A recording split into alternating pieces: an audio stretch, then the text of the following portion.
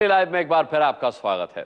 विश्व रिकॉर्ड बनाने में दिल्ली से सटे और यूपी के हाईटेक शहर नोएडा का नाम भी अब जुड़ने वाला है।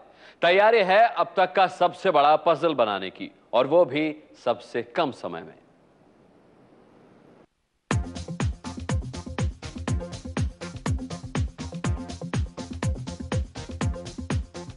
जब ये बिखरे टुकड़े आपस में मिलेंगे तो एक नया कीर्तिमान बनेगा। दुनिया के सबसे बड़े कमर्शियल पजल को सबसे कम समय में बनाने का कीर्तिमान। बंद कमरे में पजल बनाने में चौबीसों घंटे जुड़े हुए हैं नोएडा की एक जानी मानी आईटी कंपनी के 18 इंजीनियर। इन्हें विश्वास है कि जल्द ही इनकी मेहनत रंग लाएगी।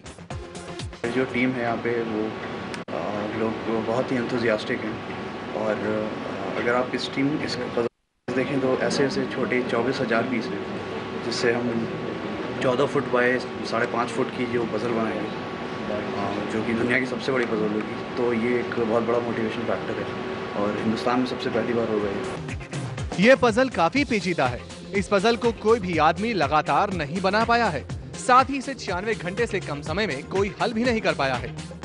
अगर ये इंजीनियर इस पजल को इससे कम समय में बनाने में सफल हो जाते हैं तो उनका नाम लिम्का बुक ऑफ़ रिकॉर्ड में दर्ज हो जाएगा।